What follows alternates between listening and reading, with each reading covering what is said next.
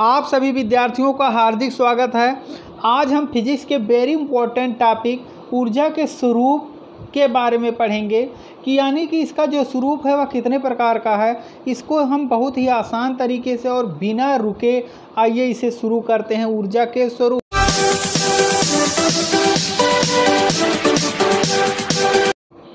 ऊर्जा के स्वरूप को हम विभिन्न भागों में बांटते हैं। पहला है यांत्रिक ऊर्जा, दूसरा है उष्मीय ऊर्जा, तीसरा है प्रकाश ऊर्जा, और चौथा है रासायनिक ऊर्जा, पाँचवा है विद्युत ऊर्जा, छठवां है ध्वनि ऊर्जा, सातवां है नाभिकीय ऊर्जा, और आठवां है सौर ऊर्जा।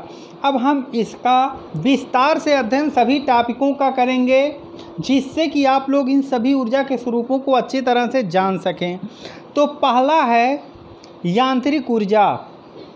कार्य करने के लिए किसी वस्तु में विद्यमान गतिज ऊर्जा तथा स्थितिज ऊर्जा के योग को यांत्रिक ऊर्जा कहते हैं। आगे हम गतिज ऊर्जा और स्थितिज ऊर्जा को विस्तार से बताएँगे। अगर यांत्रिक ऊर्जा को सरल शब्दों में कहें तो किसी वस्तु में विद्यमान इसकी गति और स्थिति के कारण ऊर्जा को वस्तु की यांत्रिक ऊर्जा कहते हैं। यांत्रिक ऊर्जा बराबर हो गतिज ऊर्जा प्लस स्थितिज ऊर्जा होता है।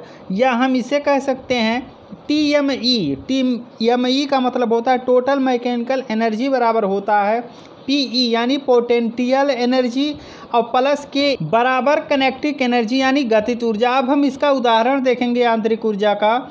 जब हम गेट को ढकेलते हैं तो यह खुल जाता है। यहाँ मैंने अंदर अपने निहित स्थित ऊर्जा को काम में लिया और अपने अंदर निहित इस ऊर्जा के कारण अपने हाथ को उठाया और गेट को धक्का दिया। मैंने गेट को धक्का देने के लिए भी अपने हाथ से गतित ऊर्जा का प्रयोग किया।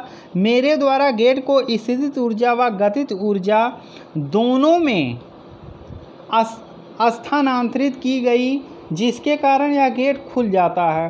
अर्थात मेरे द्वारा गेट को स्थानांतरित की गई गतिज व स्थितिज ऊर्जा को यांत्रिक ऊर्जा में परिवर्तित हो जाती है। अतः हम कह सकते हैं कि यांत्रिक ऊर्जा, गतिज ऊर्जा व स्थित ऊर्जा तीनों का ही योग है। और इस यांत्रिक ऊर्जा के कारण गेट जो है वह खुल गया। अब हम इसके दूसरे बिंदु पर चर्चा करते हैं, यानी दूसरे स्वरूप का उष्मीय ऊर्जा। गर्म वस्तु द्वारा संचित वह ऊर्जा जिसके कारण हमें गर्माहट का आभास होता है उष्मीय ऊर्जा कहलाती है। जैसे भाषा की ऊर्जा, जब हम भाषाओं का प्रयोग करते हैं तो इसमें हमारी ऊर्जाएँ लगती हैं। अब हमारा तीसरा पॉइंट है प्रकाश ऊर्जा। वह ऊर्जा जिसके कारण हमें वस्तुएँ दिखाई देती हैं, प्रकाश ऊर्जा कहलाती हैं। जैसे विद्युत बल्ब और सूर्य आदि के प्रकाश से हमें वस्तुएँ दिखाई देती हैं। अब हम अगला पढ़ेंगे रासायनिक ऊर्जा। किसी रासायनिक प्रक्रिया में मुक्त हुई ऊर्जा को रासायनिक ऊर्जा कहते हैं। जैसे कोयला, गैस पेट्रोल आदि विभिन्न प्रकार के ईंधनों की ऊर्जा, रासायनिक ऊर्जा होती है। अब हम इसका पाँचवा पॉइंट पढ़ेंगे, विद्युत ऊर्जा। विद्युत ऊर्जा द्वारा संचालित ऊर्जा को विद्युत ऊर्जा कहते हैं। जैसे वैद्युत मोटर से प्राप्त जो ऊर्जा होती है, वह विद्युत ऊर्जा कहलाती है। अगला है ध्वनि ऊर्जा। वह ऊर्जा जिसके कारण हमें सुनाई देने का आभास होता है, उसे हम ध्वनि ऊर्जा कहते हैं। जैसे लाउड स्पीकर से प्राप्त ऊर्जा जो है, वह ध्वनि ऊर्जा कहलाती है। अब हम इसके अगले पॉइंट की ओर पढ़ते हैं। नाभिकीय ऊर्जा। किसी नाभिकीय प्रक्रिया में मुक्त हुई ऊर्जा को नाभिकीय ऊर्जा कहते हैं। इसका हम उदाहरण भी देख लें नाभिकीय ऊर्जा का, जैसे परमाणु ऊर्जा। अब हम इसके अगले पॉइंट की ओर बढ़ते हैं, सौर ऊर्जा।